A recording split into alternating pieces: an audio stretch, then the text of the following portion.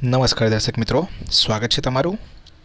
આજથી આપણે ગુજરાત બોર્ડ ધોરણ દસ અંગ્રેજી પાઠ્યપુસ્તકના ચેપ્ટર્સની શરૂઆત કરવા જઈ રહ્યા છીએ, જેમાં સૌપ્રથમ આજે પ્રથમ પાઠ અગેન્સ્ટ ધી ઓડ્સ એટલે કે સામા પ્રવાહે તેની ચર્ચા કરીશું.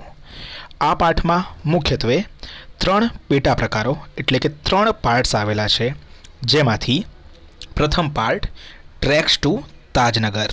તાજનગરના પાટાની આજે વિસ્તૃત ચર્ચા કરીશું. શોર્ટમાં સૌપ્રથમ પાઠની સ્ટોરીની વાત કરીએ, તો અહીંયા ગામના લોકોની પોતાના ગામમાં રેલવે સ્ટેશનના બાંધકામની પ્રબળ ઈચ્છા છે. કારણ કે તેમને કોઈપણ કામ માટે જો ક્યાંક બહાર શહેરમાં જવું પડે, તો ગામથી ઘણું બધું દૂર જવું પડે છે. તેઓ આ રેલવે સ્ટેશનની બાંધકામની માંગણી કરે છે સરકાર દ્વારા. પરંતુ સરકાર તેમની આ માગણી સ્વીકારતી નથી. છેલ્લે તેઓ પોતાના પૈસાથી જ આ રેલવે સ્ટેશનના બાંધકામનું કામ પૂર્ણ કરાવે છે અને દેશનું પ્રથમ રેલવે સ્ટેશન કે જેની અંદર સરકારનો એક પણ રૂપિયો ખર્ચ થતો નથી તેનું બાંધકામ પૂર્ણ થાય છે. તો આ આની શોર્ટ સ્ટોરી હતી. હવે વિસ્તૃત આપણે ચર્ચા કરીશું. તેની પહેલાં, જો મિત્રો તમને આ ચેપ્ટર ગમે, તો લાઈક શેર અને સબસ્ક્રાઈબ જરૂર કરજો. તો શરૂ કરીએ. Four twenty five years residents of Tajnagar village near Gurgaon lobbied for railway station in their village છેલ્લા પચીસ વર્ષોથી ગુડગાંવ પાસેના તાજનગર ગામના નિવાસીઓ, તાજનગર ગામના લોકો તેમના ગામમાં રેલવે સ્ટેશન માટે પ્રયાસ કર્યો. When their demand was not met, the villagers decided to take matters into their own hands. જ્યારે તેમની માંગણી સ્વીકાર કરવામાં અથવા સંતોષવામાં આવી નહીં ત્યારે ગ્રામજનોએ આ બાબતને પોતાના હાથમાં લેવાનો નિર્ણય કર્યો. They pulled in twenty one lakh rupees and built a railway station on their own તેમણે એકવીસ લાખ રૂપિયાનું ભંડોળ એકઠું કરીને જાતે રેલવે સ્ટેશન બાંધ્યું. યાદ રાખજો મિત્રો કેટલા? ટ્વેન્ટી વન લાખ એકવીસ લાખ રૂપિયા આ આપણે અચૂક યાદ રાખવાનું છે.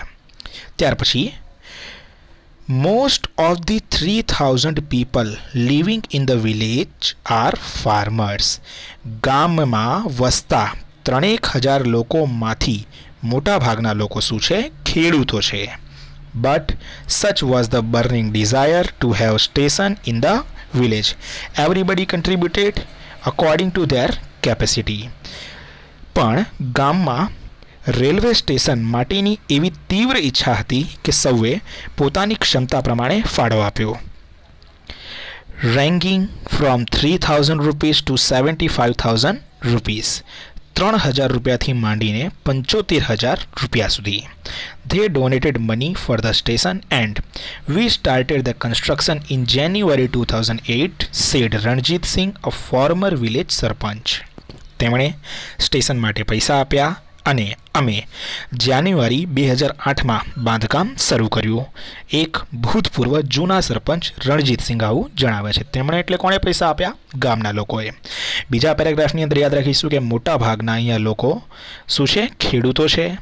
અને તેઓ શું કરે છે? તેમની કેપેસિટી પ્રમાણે પૈસા આપે છે. કેટલા રૂપિયા આપે છે તેઓ ત્રણ હજારથી માંડીને પંચોતેર હજાર રૂપિયા સુધી. એટલે કદાચ કોઈ ગરીબ હોય તો ત્રણ હજાર અને કોઈ થોડુંક સારું એવું હોય તો એ પંચોતેર હજાર રૂપિયા સુધી અહીંયા આપે છે. જાન્યુઆરી બે હજાર આઠની અંદર અહીંયા બાંધકામ શરૂ કરવામાં આવે છે. આવું ગામના એક ફોર્મર ફોર્મર એટલે જૂના અથવા ભૂતપૂર્વ કહી શકાય એ ગામના સરપંચ રણજીત સિંહ આવું જણાવે છે. ત્યાર પછી there are a large number of people in the village who need to go to Gurgaon, Delhi and Rewari.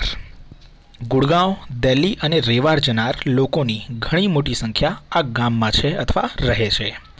There are students who go to colleges till now we had to either go to Halimandi or Patli to catch a train college જનાર વિદ્યાર્થીઓ પણ હોય છે. આજ સુધી અમારે, એટલે કે તે લોકોને ગાડી પકડવા માટે હાલીમંડી અથવા પાટલી જવું પડતું.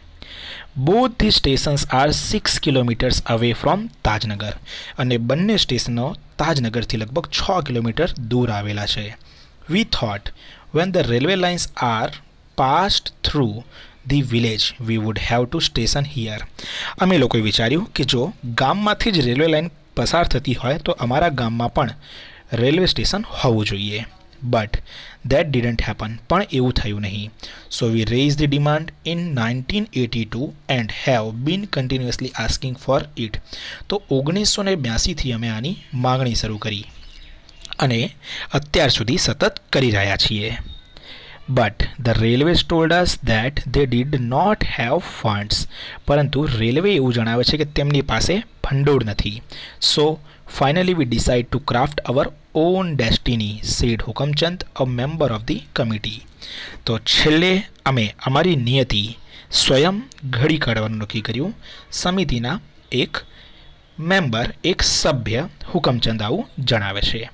શું યાદ રાખીશું અહીંયા ત્રીજા પેરેગ્રાફની અંદર, તો ગામના મોટાભાગના જે લોકો છે, તેમને અહીંયા ગુડગાંવ, દિલ્હી અથવા રિવાર જવું પડે છે અને તેના માટે ટ્રેન પકડવી હોય તો હાલી મંડી અને પાટલી જવું પડે છે, જે બંને છ કિલોમીટર ગામથી દૂર આવેલા છે. તેમણે ઓગણીસો ને બ્યાસીથી અહીંયા માગણી કરી છે, પણ તેઓની માગણી પૂરી કરવામાં નથી આવતી, તેથી તે લોકો પોતાની નીતિ જાતે ઘડવાનું નક્કી કરે છે. આવું કોણ જણાવે છે? તો સમિતિના એક મેમ્બર હુકમચંદ જણાવે છે. ત્યાર પછી as a result the panchayat passed a resolution in 2008 saying that since the railway was not able to build a station for them they would do it for themselves and with their own money પરિણામે બે હજાર આઠમાં પંચાયતે ઠરાવ પસાર કર્યો કે railway તેમના માટે સ્ટેશન બાંધી ન શકતું હોવાથી તેઓ તેમની જાતે જ બાંધશે અને તે પણ તેમના પોતાના પૈસાથી. Soon an eleven member team was form and the team started collecting money from villagers તરત જ અગિયાર સભ્યોની એક ટુકડીની એક ટીમની રચના કરવામાં આવી અને આ લોકોએ ગ્રામજનો, ગામના લોકો પાસેથી પૈસા એકઠા કરવાનું કામ શરૂ કર્યું. શું યાદ રાખીશું? બે હજાર આઠમાં પંચાયતે અહીંયા ઠરાવ પસાર કર્યો અને અહીંયા શું કર્યું તેમણે એક અગિયાર લોકોની એક ટીમ બનાવી જેમણે ગામજનો પાસેથી શું કર્યું પૈસા એકઠા કરવાનું કામ શરૂ કર્યું ત્યાર પછી છેલ્લો પેરેગ્રાફ આપણે જોઈ લઈએ on 7 January 2010, as a result of their efforts, the first railway station in the country on which the railway did not have to spend a single rupee started operation.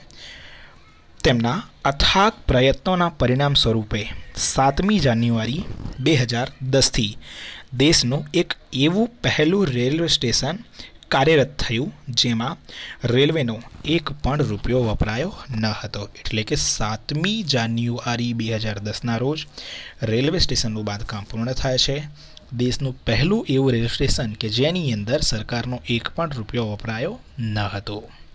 આશા કરું છું મિત્રો તમને ચેપ્ટર ગમ્યું હશે. Thank you so much